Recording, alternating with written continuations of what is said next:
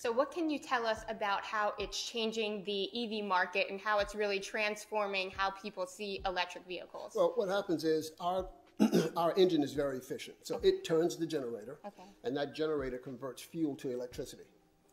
But the big thing is, is we've shown that we can do that at about the same carbon footprint as if you plugged an EV into a, a wall, which is pulling that power from a power plant some, somewhere. Okay. So we make the kilowatt hour of electricity as efficiently as a power plant does. Okay. So a lot of people don't realize that when you plug in at home and that power, who knows where it's coming from? On the East Coast, it could be coming from Georgia.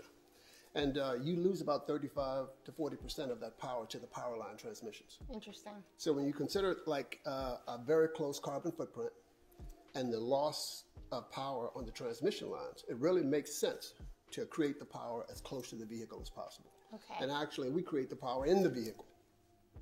That So sounds the- so groundbreaking. There, yeah, so there are no uh, transmission losses, very low pol- pollution profile, and just the convenience of electric cars is just magnified. right. And we're Americans. Time is money. Time is money. Yeah. Uh, we love convenience. I don't even like to wait for a cup of coffee. Right. Instant gratification Yeah, I is the couldn't way of the imagine myself, yeah, sitting at a charging station for four hours. Or what Right. if somebody's at that charging station when I get there Yeah. and they get 45 minutes before I can get my 45 minutes? Then you're not good. talking, yeah, It's way just not longer. going to happen for I think most Americans. So we say that uh, Tesla made EVs cool. Mm-hmm. Derek Automotive is going to make them convenient.